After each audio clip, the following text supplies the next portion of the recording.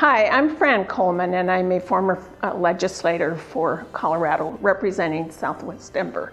One of the things that was often so difficult for me and my colleagues was to be able to balance the budget because of the many amendments that were on our Constitution. Since I left in 2006, even more constitutional amendments have made it onto our Constitution. I believe that citizens ought to have a voice, but I want it to be more representative of all of the voices in Colorado. Today, anybody who goes to a heavily metro area can get enough signatures and with 50% plus one can get an initiative on the, on the Constitution.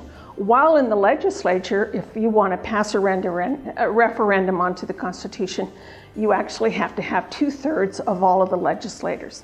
I want more representative government, and so that's why I'm supporting Amendment 71 because it represents all of Colorado and it requires a supermajority to get things done so that we don't crowd our Constitution any longer.